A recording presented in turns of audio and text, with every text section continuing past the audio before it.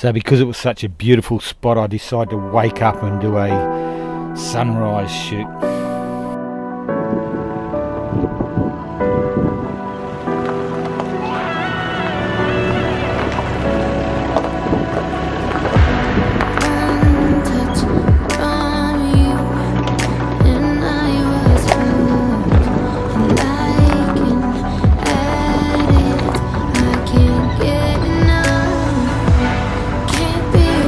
So I knew today would be a big drive too. That's part of the reason I got up early. Um, but yeah, what a way to wake up.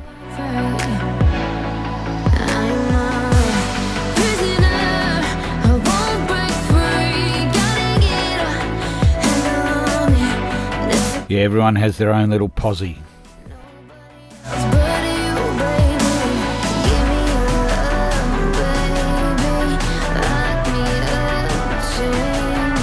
Just beautiful.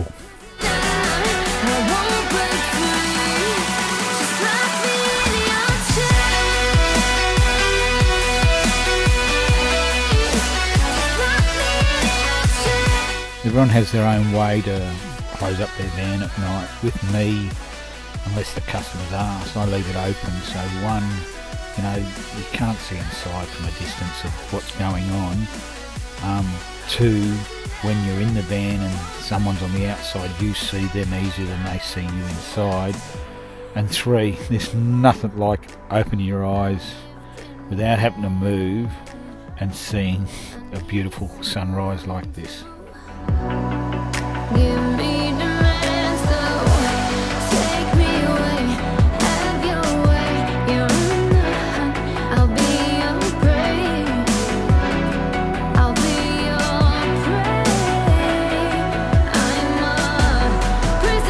That was our magnificent overnight at Bunda Cliffs. Now it's heading for the what I heard was the heavy part of the Nullarbor, which is not so heavy because there's just so much to see.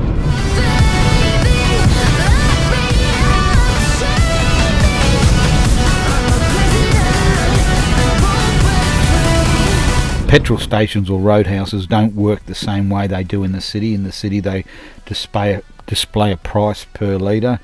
In the outback, they don't. So you've got to virtually drive in and then drive to find out, drive in to see the price, and if you like it, um, you pay it. If you don't, you move on to the next one. And so this one I didn't like, so I moved on to the next service station. And here we are going back across the South Australian Western Australia quarantine border, quarantine area. I know the fuel's cheaper up further. Yeah, um, Eucla and Mundrabilla, about the same price. Price, no worries. Thank you. Bye. Yeah, so as you hear, um, the quarantine people are quite friendly and helpful. I also have an app that tells me the price of each service station, but sometimes it's not actually up to date with the current price.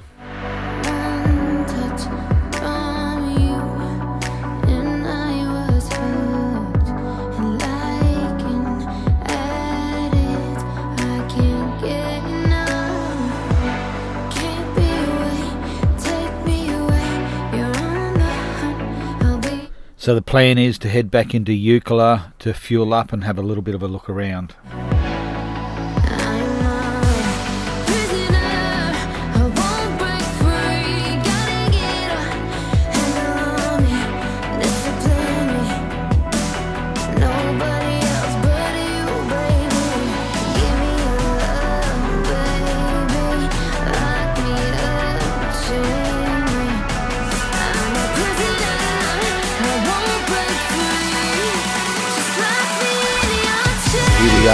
I just filled up.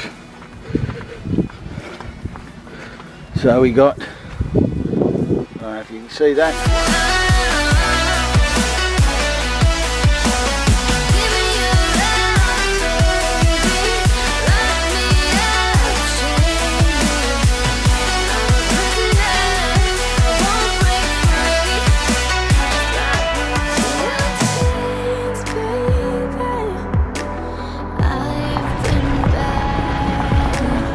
Yes, in outback Australia, they don't really believe in fences.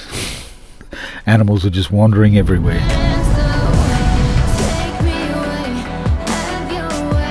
So here we are just outside Eucla and you actually head down into the flats of the Nullarbor Plain so I decided to do a drone fly and show you what we're heading towards.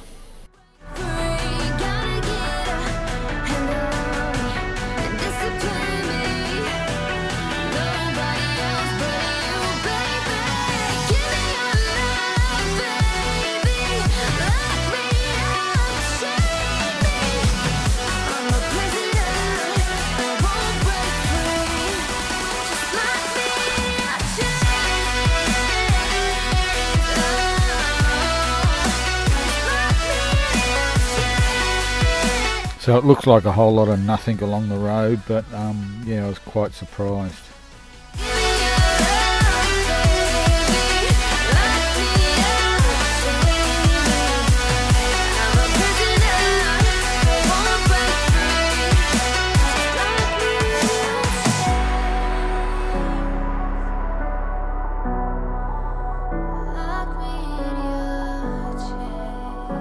So when I'm travelling in the motorhome, I love the left lane, so it lets all the traffic and the, the speed demons go.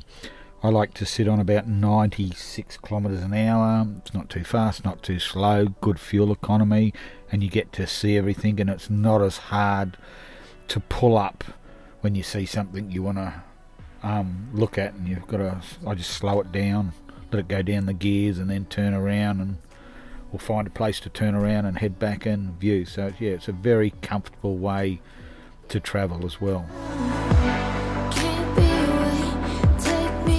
So not only you just got to look out for kangaroos and wombats, but you also got to watch out for these eagles that sit on the top of the dead carcasses eating away. And like this guy's got a wingspan of about two and a half meters.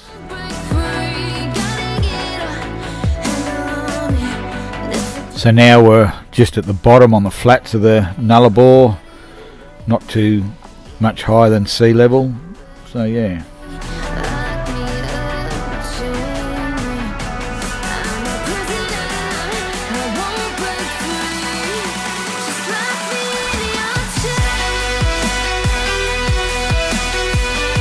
So in the outback, the roads double as an airport. I think from emergency services. So we are legally driving on an airport without a boom gate.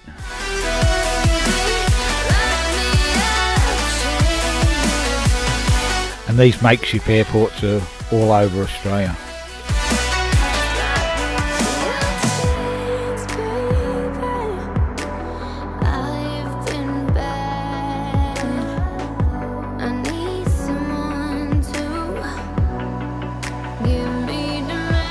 So I decide to send the drone up and have a look what is around us even though there's nothing for miles except for more trucking.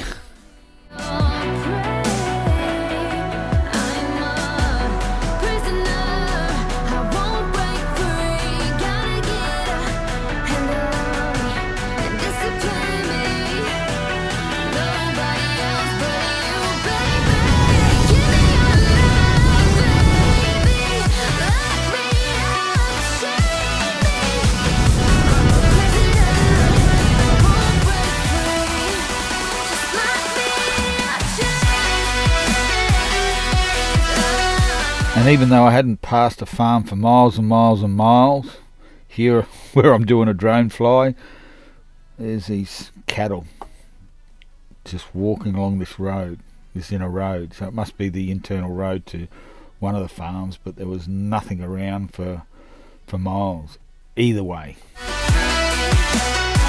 Except truck after truck after truck.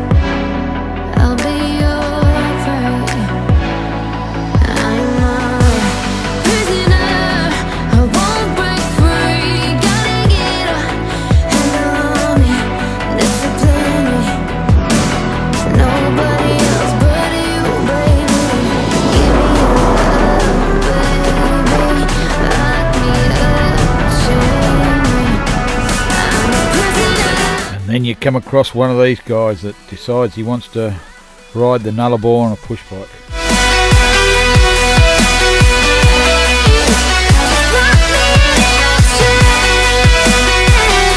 So I decide to top up my fuel tank and of course I'm always polite on the road and let these guys go first. Give them some room.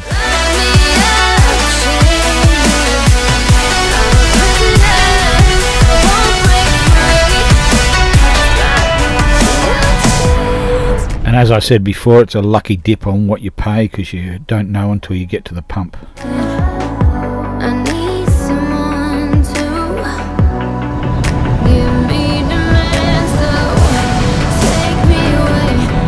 Yeah, and another pit stop for Jack. Um, pull up, let him have a run around. Road train goes past, of course. After road train, after road train.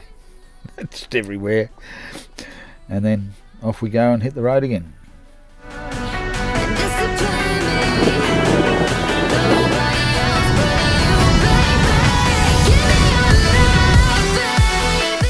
So this is the last roadhouse for 90 miles and we hit the 90 mile straightest road in the world.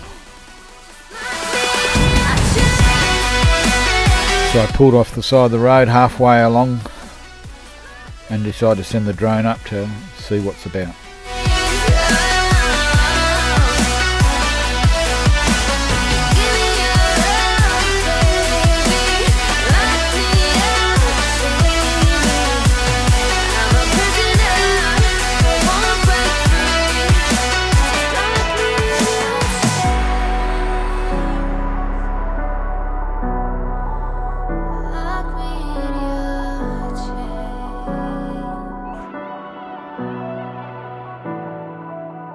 So as I said before, it, it, might sound like it's a long stretch and it's boring, but there's the landscape changes all the time, and there's always some photographs to be taken, or um, send the drone up, or or whatever. But yeah, I, I never found the Nullarbor one bit boring.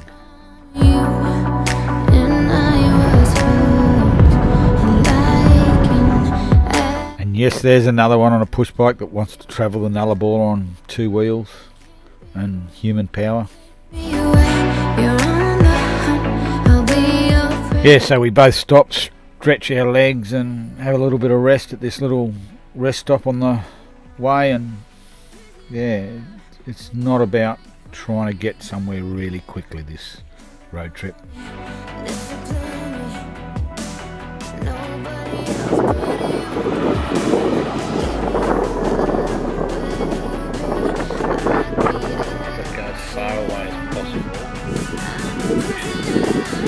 And even though we're in the middle of nowhere, Jack loves to go exploring.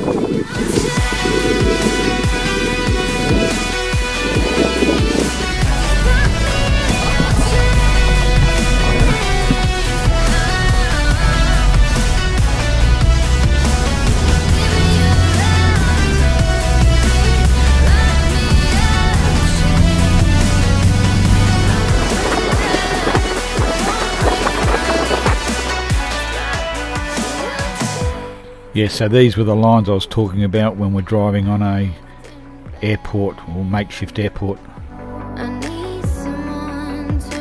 So we make it to the end of the 90 mile straight road and thank you for watching this episode and see you on the next episode.